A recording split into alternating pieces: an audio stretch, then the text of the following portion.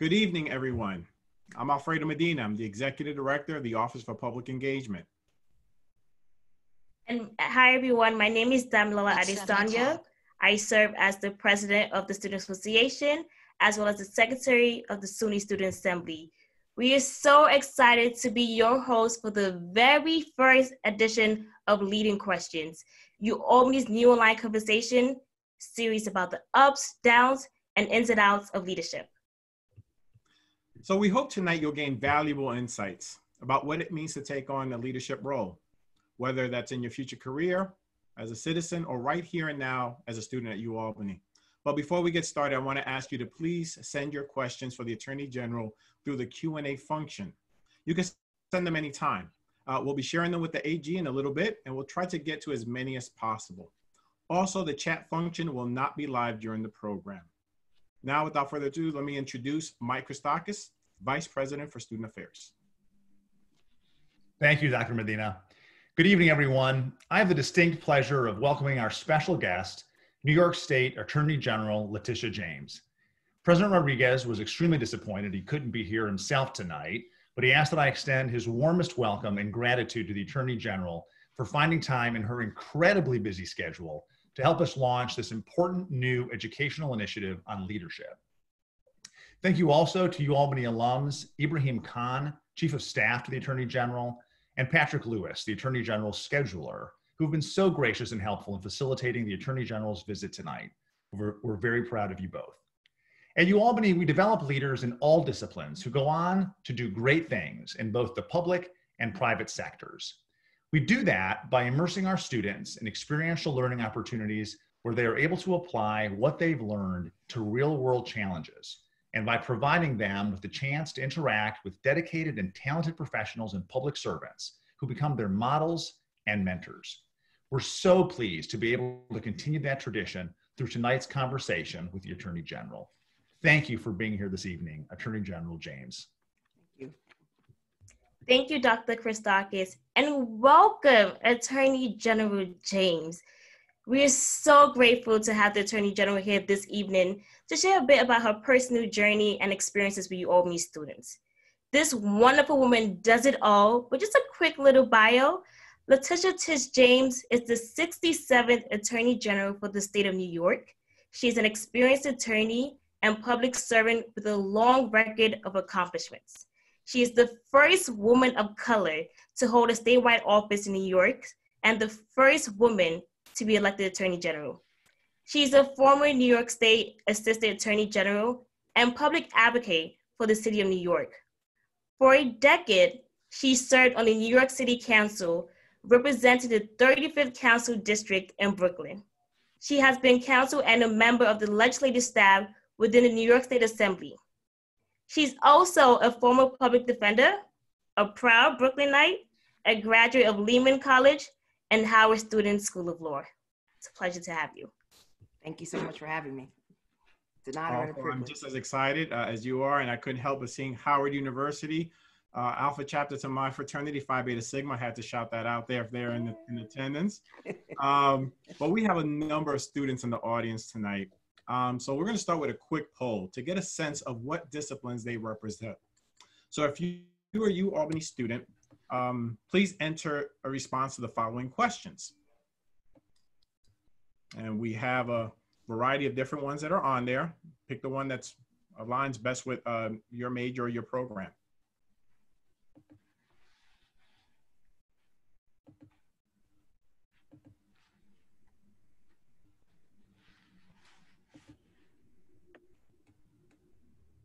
All right, and the results are coming in, and it looks uh, political science or public administration leads with 45%. Kind of makes sense right? Followed uh, right by uh, criminal justice, or about 20%.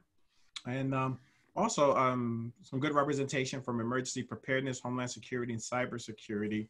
Uh, so it also looks like, you know, we have a good representation across the, the variety of different um, colleges and schools here at the University of Albany.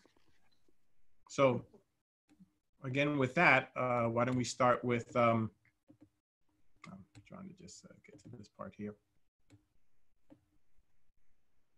So why don't we just start with the first series of questions? And so the first one um, is when and how did you know what path you wanted to pursue? Um, it started for me um, when I was around 13, 12, 13. Um, my brother was um, falsely arrested, and my mother took me to criminal court in Brooklyn. Um, and when we walked into court, she asked the court officer a simple question Where was her son? Um, the court officer responded by saying, um, Sit down and shut up. Um, everyone in the courtroom, I noticed, uh, all the defendants looked like me. All of the people in the gallery looked like me. Um, but um, all of the individuals in, the, in positions of power did not look like me. From the judge to the lawyers to the correction officers to the police. Um, it was not representative. And I vowed at that point in time um, that I would never allow any mother or grandmother, or father, or grandfather, anyone who asked a simple question, where was their loved one, to be disrespected in that fashion. And so I made a vow that I'd go to law school and come back and render justice and never allow that to happen again, which is why I became um, an attorney, um, and which is why um, um, I treat everyone with great respect, no matter who they are, no matter what they look like, um, no matter what their ethnicity is or their gender identity their sexual preferences. It really doesn't matter to me. I respect the entire human family. Thank you. Thank you so much for sharing. What would you say are skills that college students should focus on developing now to really prepare them for public office? And what are good ways to go about developing these skills? Well, you know, we're living in um, a period of chaos and confusion, a lot of turmoil. Um, and we've got, uh, what is it, 49, 48 more days in order to restore normalcy to this country. And so, first of all, individuals need to know current events. They need to know what's happening um, in their environment. Environment. They need to know what's happening politically. Um, they need to know how to communicate. They need to know a little bit about government. Um, and individuals um, need to um, have a passion, um, a reason for living, a reason that gets them up early in the morning um, a reason um, that drives them. And what drives me, again, is my sense of justice, but also um, what drives me now is recognizing and understanding um, that the founders of this country created um, three levels of government, three, bran- three arms of government, three branches of government. Um, and each of them has a role. And at this point in time in our history, the executive on the federal level, unfortunately, is not functioning. The legislature, unfortunately, doesn't have backbone or spine. And the only arm of government right now, which is a stabilizing force, is the judiciary. And um, it's an honor and a privilege as the Attorney General of the state of New York uh, to render justice, but to ensure um, that, our, that our Constitution is a living and breathing document and that it applies to all individuals.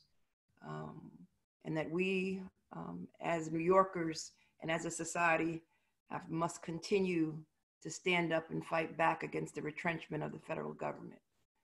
So that is what drives me. And the question that I pose to all of you on this call is what drives you? What makes you angry? Um, and what is your passion? you and everyone has passion. You just have to find it and develop it and um, and uh, and uh, make it a calling. Thank you. Um, I'm sitting here reflecting on my own undergraduate years from many moons ago, and thinking about what do you do exactly? Like, what do you know what you want to do after graduation? Like, how do you prepare for a career, particularly in public in public service, yet still stay open to opportunities that may come along that you may not have considered? You know, so um, public service, unfortunately, has gotten a dirty name. Um, and there are times when there are kids, and I shouldn't say kids, young people, graduates. Sometimes you there's not a sense of you don't get a sense of what you want to do upon graduation. And that's understandable. Sometimes it takes a while for you to, to discover a passion um, a, a calling if you will. Um, sometimes it um, it involves uh, facing adversity. Uh, sometimes it it involves being knocked down um, sometimes it's an experience in your life public service is really a calling um, and public service is the ability to give back to others uh, that which you have been given. And public service is about gratitude and sacrifice um, and, a, and, a, and a calling that is larger than yourself. And it's also about improving the lives of, of individuals who are struggling right now. So, you know, when you're interested in public service, when you see um, immigrants at the border when, who are separated, um, when children are separated by the, with their parents, when children are removed from the arms of their mothers and you are you get upset by that. That's public service. You get you public service is uh, when you see so many people who are struggling under the weight of poverty mm, um, standing on a food pantry line and you look at them and and that bothers you. That's calling of public service. Public service is um, uh, when there's uh, when you see issues in your community that are not being addressed and then you go to other communities and you see that uh, they're being addressed in that community. That's public service. Public service is basically serving others. Um, public service is responding to a call. Um, and public service is probably i would think uh, the greatest calling and one of the greatest careers um, and public service right now is crying out for more young people like you. Public service is those individuals who are marching right now in response to systematic racism. Um, public services are those individuals who want to see change in the criminal justice system and how we and also how we police um, how we engage in policing. That's public service. So it's the young people marching with their feet petitioning their government. Uh, that's public service thank you. thank you so much for sharing i'm sure students need to hear that and i'm sure they're also curious i know you've done it all but what leadership positions did you have in college and how did this affect your decision for further leadership? So I didn't hold any positions in college. Um, I really, I wasn't even involved in government in college. Um, you see, because I had to work to mm. help my mom. Mm. Um, and so it was struggling going to school and working and caring for my siblings. I, I didn't have much time. And there's a lot of students out there who have to do the same thing that I do, who come from humble beginnings uh, but who recognize that education really is the key to success and the key to independence and the key to overcome a, a number of isms. And so you struggle each and every day. But um, what that taught me is um, that I've got to continue this course and get my degree and go beyond so that I can help other students and I can help and provide resources and create resources and programs and initiatives so that other children, other students don't have to struggle like I did. Um, and there's a significant number of programs um, that have been created so that um, other students don't have to, again, engage in the same um, type of uh, rigor and sacrifice. Oh, thank you. So going off of that, can you just share a time when you faced adversity, how you handled the situation, and what did you learn from it? So, you know, I face adversity quite a bit. I mean, there was a time when I ran for this office and the office before that and the office before that where people question you. They question your ability, your credentials. Uh, they question you as a woman and, and as an African American woman. Um, and so they have their doubts. And each and every time individuals question my ability, I meet the challenge in fact, um, in, in most cases, I go above and beyond the challenge. Um, and I don't listen to all of that noise, all that ambient noise. What I listen to is my heart. And what I listen to is uh, the senior citizen across the street uh, who lives in public housing who says, You go, girl. Or the woman uh, who, who um, who says, I, I, I need your help, Tish, because um, I'm facing deportation. Um, or um, the family next door to me who's LGBT, um, who says that they've been denied health care um, because they're gay, because of who they love. so it's, it's people like that who I listen to. And it's not those people who underestimate me because each and every time I overperform. And then I just say, there it is. I love that. Love it. That's that's great. Thank you. Wow. Uh, um, how do you cope with the challenges of leadership? You know, making hard or unpopular decisions. You know, speaking truth to power, holding yourself and others accountable as public servants. I'm a woman of faith. I believe deeply in a higher power, and so oftentimes I lean upon my faith. And most elected officials really don't talk about their relationship um, with their God and um, and, and how faith um, basically guides them. I belong to a church which preaches social justice each and every Sunday. I went to a school which talked about using the law, the law as a means for um, social justice. Um, I've been fed on um, uh, this, um, uh, fed an encyclopedia of ways and means to affect social justice. And so I follow that model. And so um, when you see, when I saw someone like um, Barbara Jordan, um, who was a congresswoman from Texas, um, who uh, sat on the judiciary um, at the um, uh, uh, the, ju- the, judiciary in the impeachment hearings for Richard Nixon, and she said, you know, I will not sit idly by and allow anyone to subvert the Constitution. And I was just moved by her booming voice and her presence as the only woman of color on that committee. When I see and read stories about Shirley Chisholm, um, who said, if they don't invite you, you know, uh, you know, to the table, bring your own folding chair. You know, it's individuals like that who inspire me um, to speak truth to power, um, to, to raise your voice and to have a commanding voice and to think outside the box and to challenge individuals um, and to recognize that no one, no one, no matter their status and, and or station in life is above the law and that you have a responsibility because much has been given to you to ensure uh, that the constitution applies to all of to everyone and that everyone everyone uh, matters in this country and in this world and that you need to stand up for them, particularly vulnerable and marginalized populations. And those, unfortunately, uh, who um, carry the burden of poverty on their shoulders. Stand up for them, fight for them, and continue to raise your voice to them for them. And that's what I do. Great, wonderful response. Thank you. I know that there are many challenges facing women in leadership positions. How have you learned to navigate these? Well, you know, um, you know, people often talk to me about sexism and racism, and to be honest with you, um, you know, when you you know it when you see it, um, but I tend to not allow it to get in my way.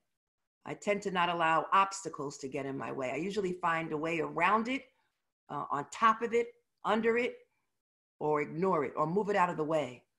Um, and so most of the time, in my experience, I've usually moved them out of the way. I've, I've um, um, again, used my skills, used my ability to communicate, and use the law um, and the recognition of the law um, to move them out of the way. And there have been obstacles. There's obstacles right now that we all face. You know, this administration wanted to put a census question on uh, a citizenship question on the census. And we went all the way up to the United States Supreme Court um, to strike that down. They wanted to discount um, in the census uh, data from immigrants uh, because they wanted to change the apportionment base. We went to court and we won that case. They wanted to treat women like second class citizens and said that we were not entitled to reproductive rights uh, during uh, COVID 19. And I joined and led with other Democratic attorney generals and state after state after state in filing briefs to knock down any restrictions to reproductive rights. They wanted to deny reproductive, they wanted to deny health care to members of the LGBTQ community. Um, they want, basically wanted to discriminate against them. We knocked that down. Um, they wanted to attack and they continue to attack Republicans, the Affordable Care Act. They want to chip away at the Affordable Care Act um, and deny those with pre-existing conditions. And we continue to defend the Affordable Care Act. And they, and they want to chip away and take away um, uh, students who from being on their parents' uh, health insurance. Again, part of the Affordable Care Act. And we again uh, continue to challenge, continue to defend that. Um, uh, they want to again. There's certain um, uh, uh, scholarship um, um, for-profit organizations that want to basically enroll individuals in these high-priced student loans, and we challenge um, uh, those institutions as well. The list goes on and on of adversities and challenges that we face e- each and every day. But we keep um, moving along because there's a fire in my belly and in the belly of those who I work with, um, uh, fire for change and for righteousness, and this belief that we should stand up to an administration which continues to disregard and disrespect the rights of countless number of Americans.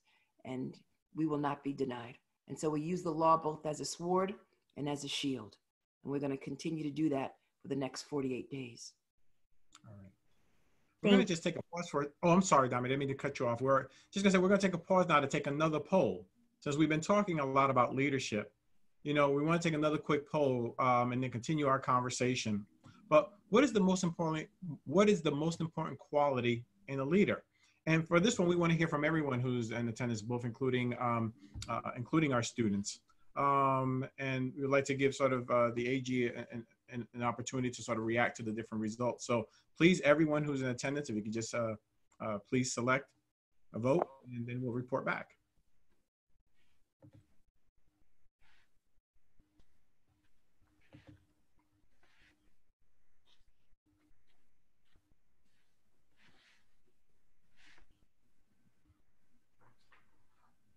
That's interesting. Um, empathy. Empathy. 30. Yeah, that's empathy. Follows shortly right um, behind it with integrity and vision, ability to communicate. So just seeing those qualities um, there, you know, um, you know, again, we can segue back to our conversation, but now you kind of have a sense of um, how our audience is thinking about what are the the essential elements of leadership. I think, um, you know, we are witnessing uh, a government which unfortunately is not uh, empathetic. And I guess that is why that is leading um, that poll. But was also what, what is in, what is important to me is integrity. Um, that is really critically important. And at a time when you are seeing a number of elected officials, unfortunately, not exhibit integrity, that too is a major factor as well. Um, but empathy is important, but integrity is, I think, more important. And making sure that you answer to the call and making sure that you serve others as opposed to serving yourself. That's what's really critically important. Thank you. And I love what you said earlier about, you know, fire for change, fire in the belly and not letting the fire down die down. That's great. Yeah. And um why would why do you think it is important to have more women in leadership positions?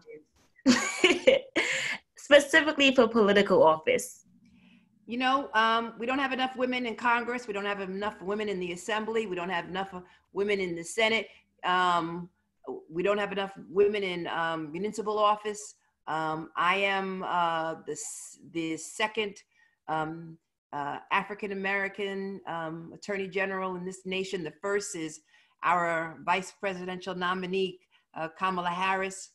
she was the first. I'm the second women. We we sort of govern differently from men.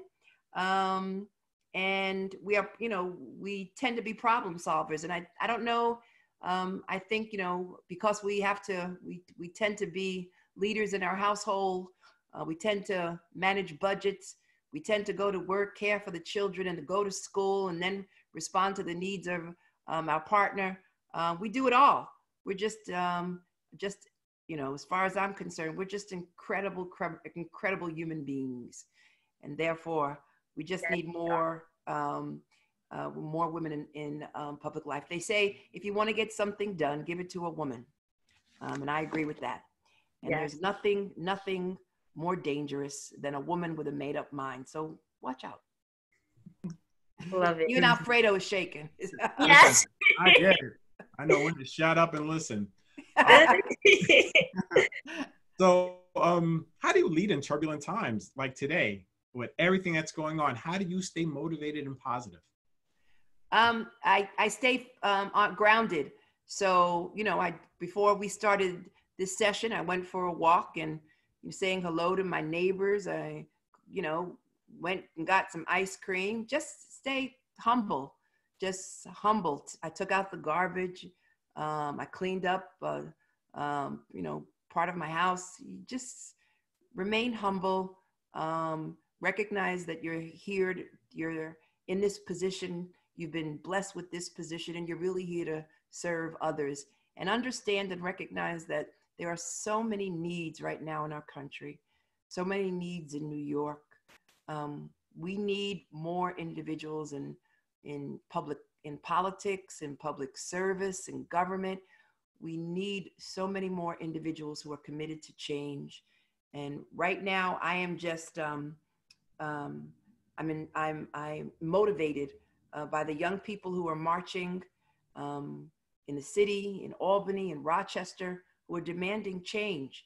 Because we know that at every movement um, that has ever um, resulted in change didn't be didn't um, it was not started by politicians.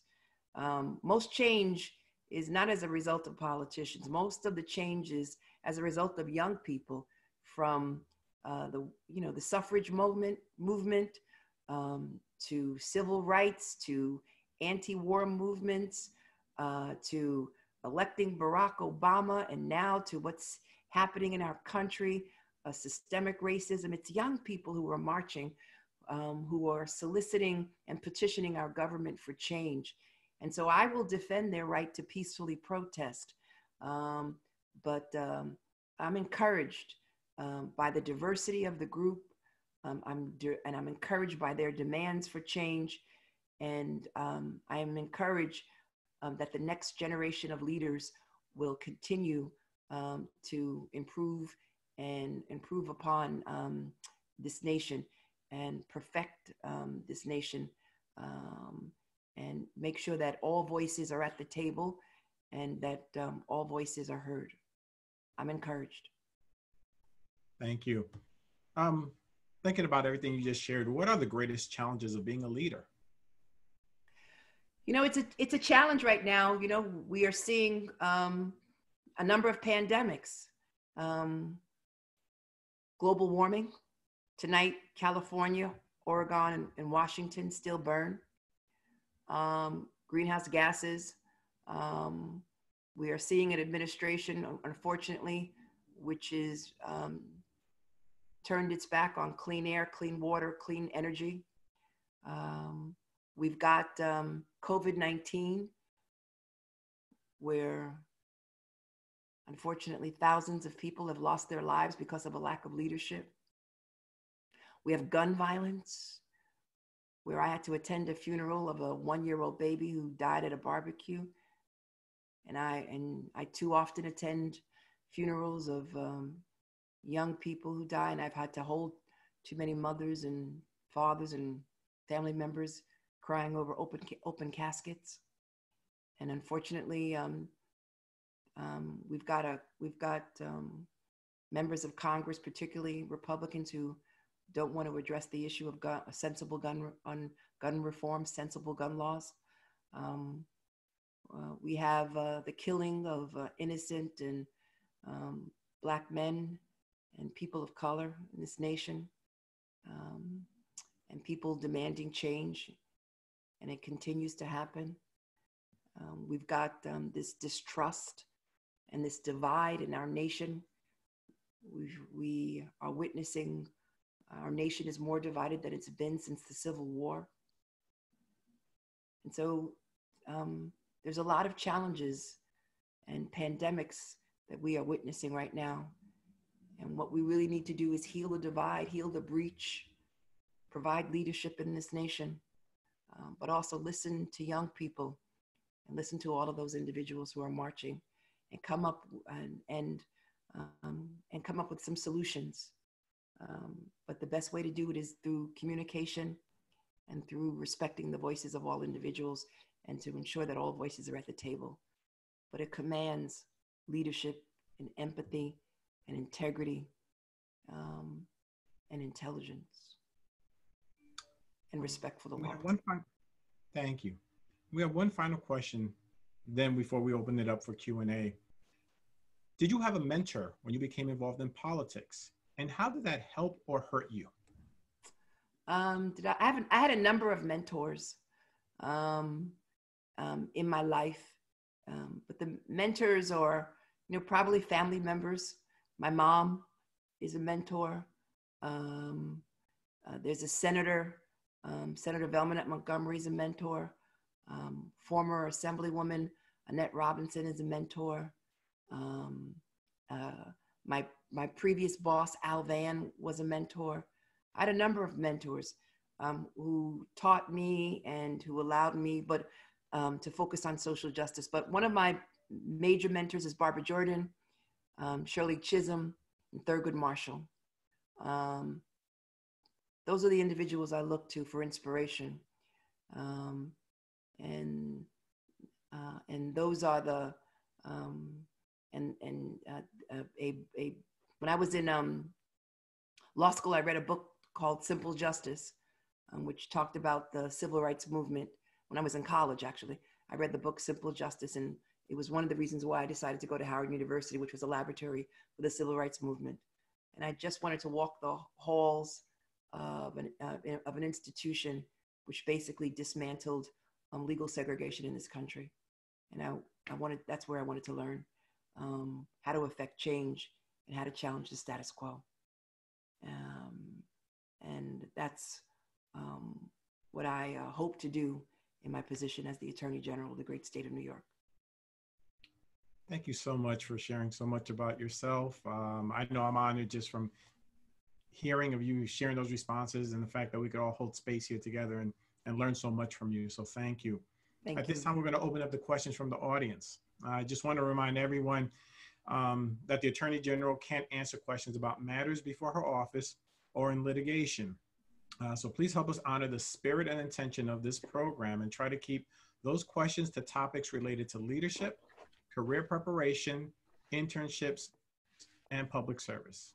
Thank you. So I think I'm turning it over now to um, my producers in the background who will be taking questions and, and and, and, give, and providing them to you, starting probably with Mary Hunt. Yes, our first question uh, comes to us from a young woman, and she says, It's an honor to have you here tonight, Attorney General James. Do you deal with imposter syndrome, and what tips do you have for a minority woman being the only one in the workplace? Ooh, interesting. Um, so I think in the workplace, you've got to find um, um, alliance, uh, allies.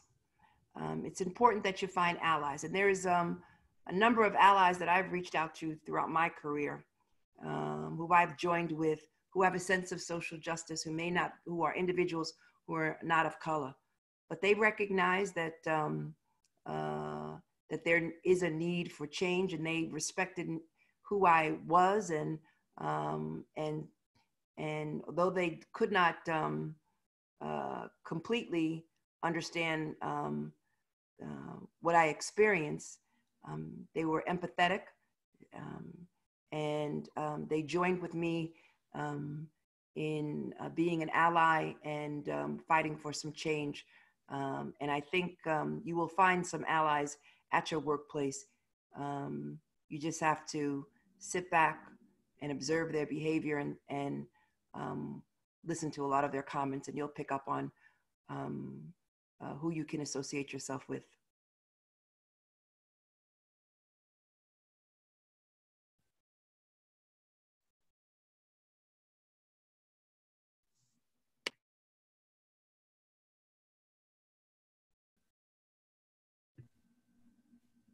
Mary, are you saying the second question? If so, we can't hear you. Is she on mute? Yeah, she is. She's unmuted. Are you able to hear me? Now Yes. we can. All right, great. The next question asks What is the most interesting aspect of your job as Attorney General? Ooh, um, interesting aspect of my each and every day is a is is different. Each and every day brings um, uh, different complexities um, and different issues. But what I like most about my office is the ability to initiate affirmative litigation. Um, for the most part, we are responding to the retrenchment of the federal government, but every now and then we bring affirmative litigation. For instance, um, we brought an action against a landlord um, in Buffalo for um, violations of the housing code. And as a result of that, the individual had to sell most of his portfolio. Um, and we worked with a preservation company um, to uh, basically uh, address all of the violations, uh, correct the conditions, and return them to the tenants. It's issues like that that I enjoy. It's initiation, it's um, affirmative litigation like that that I particularly enjoy.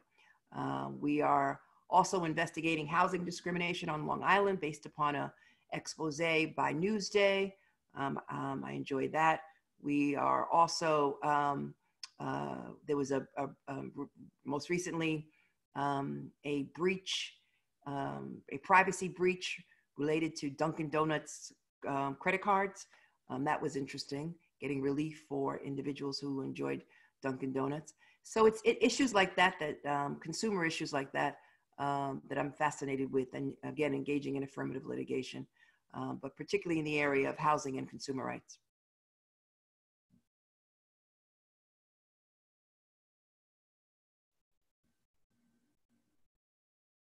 Do you wish you had known about your position before you started?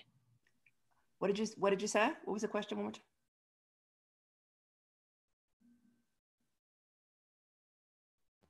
Mary, could you repeat that? Yeah, That's cutting off in the beginning, Mary, when you speak. Sure. What do you wish you had known before about your position before you started? Um, well, I knew about the position because I previously worked in the Attorney General's office as head of the Brooklyn office. Um, so um, um, I knew a lot about the office. Um,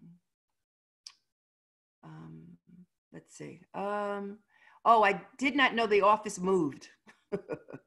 the office at one time was at um, 120 Broadway, and then they moved to uh, uh, Liberty Street, this fancy new building. And I was just so used to working at 120 uh, Broadway, um, and, but they sort of upgraded um, and they um, moved to really new fancy offices, um, and they're really pristine. Um, and um, uh, um, it was a change for me.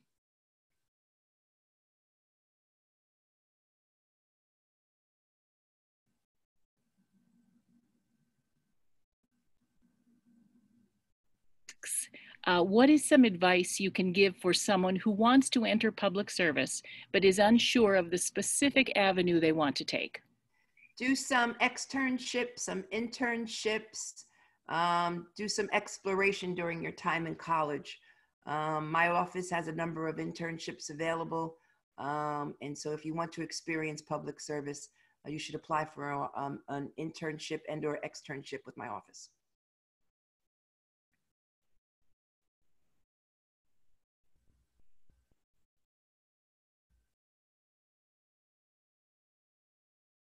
Between us. I have another question, Attorney General James. Did you ever face burnout while even or while in either undergraduate or law school? And how did you cope with it? No, um, I've never, I never, I didn't face burnout. Um, there's times when um, fatigue sets in.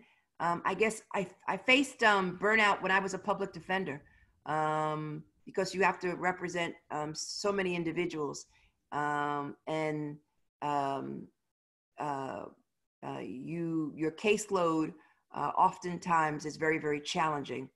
Um, so there was a time when I recognized that um, I no longer had the fire in my belly, um, and I wanted to um, do something on a larger scale to affect the lives of those individuals that I was representing. And that's why I decided to work in the state legislature. Um, and I know a number of you are, work, um, are volunteering and are working in the state legislature. So I worked in the state legislature for 10 years. Um, and I traveled back and forth from to Albany from Brooklyn, and I did it on a weekly basis. Um, and it was there that I um, uh, gathered a, a, greater love for public service, um, and it just reaffirmed um, um, my uh, reaffirmed my uh, belief or interest in running for public office.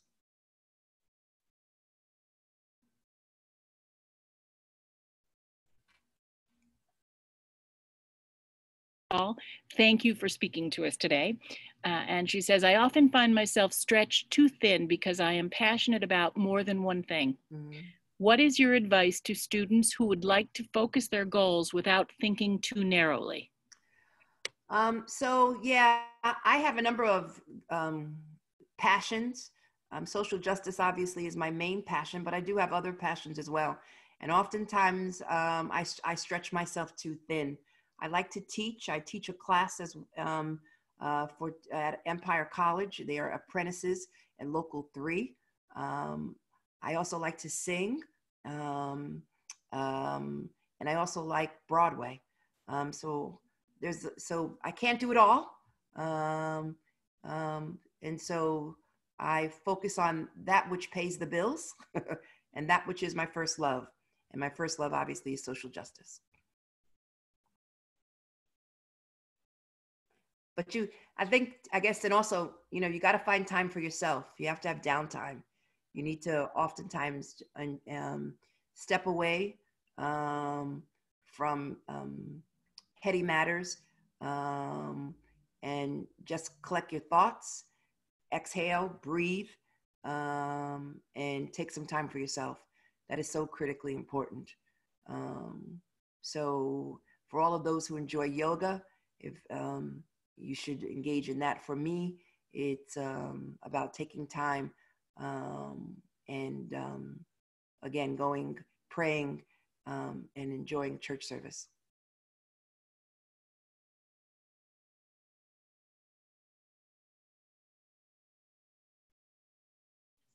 Oh, go ahead.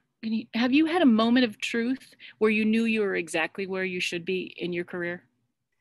Um, so it's interesting because you know there people had their doubts about whether or not um, I was whether or not I should run for attorney general. Um, there were a number of individuals, including um, every major newspaper um, except for one, um, did not endorse me in my race for attorney general. and uh, now, as they look back, they say, given as, as such a time as these, um, you were best suited for this position because of all that is happening in this nation, um, because of your activism, because of your empathy, because of who you are as a Black woman, um, um, uh, because of the division that we are experiencing, because of the systemic racism, uh, because of uh, questions with regards to policing. Um, you were you were best suited to serve as the Attorney General, um, and so all of those individuals who doubted me then um, have now um, reached out and said, uh, um, uh, given this time um, and, and, and, such a time as this, um, it was suited for Letitia James, who was basically the fighter uh, and uh, someone who has a moral compass and someone who has committed her career to to uh, social justice.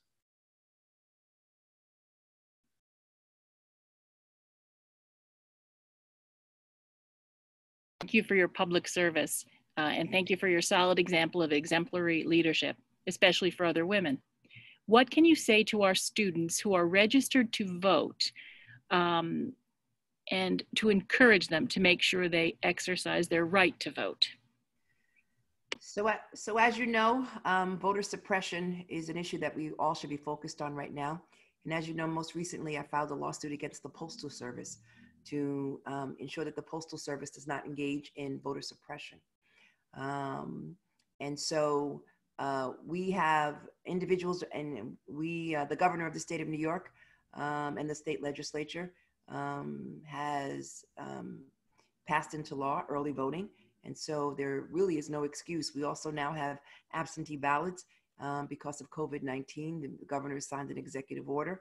Um, uh, so individuals um, really should either um, uh, in, uh, one vote early or two um, fill out an absentee ballot or three um, vote in person because no matter what they throw at us we need to vote and we need to vote in record numbers and we need to stand in line on election day in quiet defiance of all that they have attempted to do um, to suppress that basic franchise.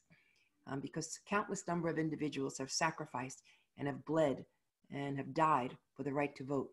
And in honor of the late um, Congressmember John Lewis, we have a responsibility and a duty to vote. Um, and so, no matter what the excuse is, um, put it aside and just exercise that basic franchise um, because democracy is on the ballot. Um, and there's so much on the ballot at this point in time. Our basic and fundamental rights are on the ballot. Um, and so I don't know about you. Um, uh, I'm going to bring at least 20 to 30 friends with me to, to vote. Um, because, um, as far as I'm concerned, this administration represents an existential threat to everything that I believe in. Um, and I want to change. And so vote. Vote because um, everything matters. Our next question um, is have you have you or how have you excuse me ever have you ever been denied access to any educational experience or a job because of your gender or race if so how did you deal with it and what advice do you offer to those who have been discriminated against you know, well, obviously, if you've been discriminated against because of your gender, because of your race, because of your sexual orientation, obviously, we've got laws on the books that um, prohibit that and um, provide you provide individuals with recourse. And I would urge you to reach out to the Human Rights um, Commission and or reach out to my office. Um, two, um, um, I don't know whether or not I, it, I was denied this position because of my race or my gender. it was probably because of my politics. I was denied um, a position in the district attorney's office in Manhattan. Partly, I guess it's because of my activism, um, but it was probably the best decision in my life um, because I was rejected by the prosecutor, but I was picked up by the public defender. And the public defender's um, office basically throws you into the courtroom on day one, um, and uh, um, you've got to sink or swim. and it teaches you how to stand on your feet and how to articulate a defense and to defend the Constitution. Um, so it was really a blessing in disguise. I didn't realize it then, but I realize it now. Um, and so I thank them for rejecting me. Um, but I, um, uh, the Legal Aid Society was probably the best experience in my life um, and has taught me how to be one of the greatest litigators um, now and uh, in the state you may have just asked or answered this question, but we will uh, ask it in case you have another case in mind. Um, one of our audience members asks if there is one specific case you've been a part of that sticks out as the most significant to you or had a great impact on you, whether personally or professionally. So I so when I was a public defender, the last case that I um, uh, where I represented an individual um, was the burning bed case where a woman was accused of setting um, her husband, her boyfriend's um, bed on fire. Um, and, um, um, you know, she was a victim of domestic violence. And that case took a lot out of me. We won that case. She was found not guilty. but uh, that was why previous, my last case. and I recently saw that young lady on a train. and she came up to me and she congratulated me because it turned her life around. Um, and then probably the most significant case that I've worked on as the Attorney General thus far is the census case, uh, where we again challenged the citizenship question. Um, and uh, um, uh, we um, basically um, stood up for the rights of immigrants and we stood up for the Constitution. Um, because the Constitution speaks to the enumeration of all individuals, regardless of their status, immigration status. And this administration, federal administration, has demonstrated uh, racial animus towards immigrants. And we continue to challenge this administration each and every time. Um, and it, it has had a chilling effect on the, um, uh, the response rate of the census. And so I urge everyone, in addition to voting, um, please fill out the census. Um, it's 10 questions and it will take 10 minutes of your life because the census is tied to reapportionment. And in New York, we once had 45 congressional representatives. We now only have 27. And there's a possibility, um, given the low uh, response rate from the census, um, that we could lose maybe one or two congressional seats. And so we need everyone to fill out the census. The census is also tied to resources, um, resources uh, related to education, transportation, and roads and bridges, and resources that we so desperately need for everyone. Um, and our response rate right now is around 60%. We obviously need to raise it, and we only have two more weeks. And so I urge everyone to fill out the census because it's so critically important um, to to the to um, our government and to democracy um, and to our representation in Washington D.C. And we can ill afford to lose any more representatives in Congress. So if you haven't filled out the census after this this session, go fill out the census and do it now and send it in.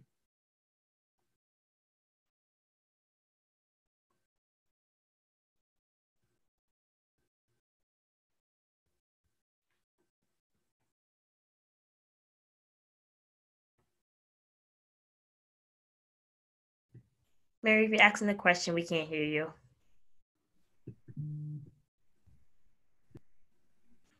I think Mary may be having some, um, she's having some audio problems. Oh. Um, and so um, I think even where we are right now with time, we may not be able to take um, another question. Did you, um, why don't we just move on to the next part, uh, Dom, you have sort of providing some closing thoughts with whatever's remaining. Yeah, um, I just want to say thanks to every student, anyone who asked the question and thank you, Attorney General, for just, you know, being thoughtful and really just going in depth on your answers. Much appreciated. But um, just any last words, advice to the students on the call, just anyone, something just con- you yeah, just continue to raise your voice, continue to lead, continue to march with your feet, um, um, and uh, um, continue to um, push for a more perfect union. Um, and stand up for others, even if you stand alone. So um, I thank you. I do know that we're going to get past this pandemic. And when we get to the other side of the mountain, we will all be together. Um, and when we were all, and when we are all together, all of us will stand together um, to demand um, uh, that uh, the rights of all um, individuals are respected. Um, and we will, again, join hands um, in recognizing um, that no one is above the law.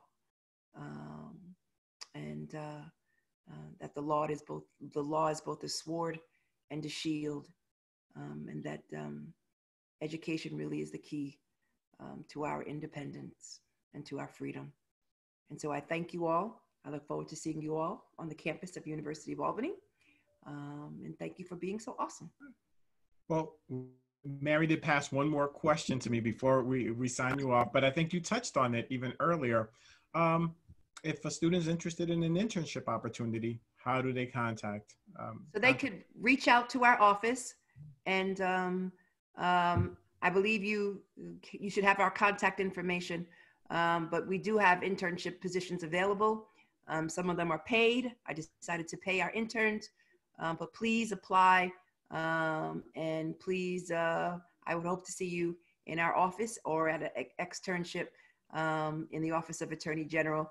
Uh, we have healthcare, we've got internet, we've got antitrust, we've got consumer, we've got criminal justice, uh, we've got CIPU, we've got Medicaid fraud, we've got consumer rights, um, wide range of issues. Um, and so I need you and I need you now. Thank you so much. Um, I just want to take this time uh, to thank you um, on behalf of everyone here at the University of Albany, um, Attorney General Letitia James, for being our first guest for Leading Questions. We do hope that you'll come back to UAlbany often and soon. And it's been a pleasure uh, just hearing about um, your story and just uh, sharing parts of you with us today. Um, and, and again, we always wish you the best. And I want to just take an opportunity to thank our Leading Question Campus partners, um, the Center for Leadership and Service, uh, the Center for Women in Government and Civil Society, the Division of Student Affairs, the Office of Government and Community Relations, the School of Criminal Justice, the Student Association, and of course, this couldn't have been possible without the ITS field support. And I also want to thank um, my co-host, uh, Dami. Uh, uh, I've worked with Dami uh, now for the past three months. I feel like uh, we make a great team, Dami, and the work that we do together. And I want to thank all of you for joining us today. And we'll be back in uh, next month with another edition of Leading Questions. And that wraps it up. So good night, everyone. Thank you for Thank joining. Thank you so much. I appreciate it. Bye-bye.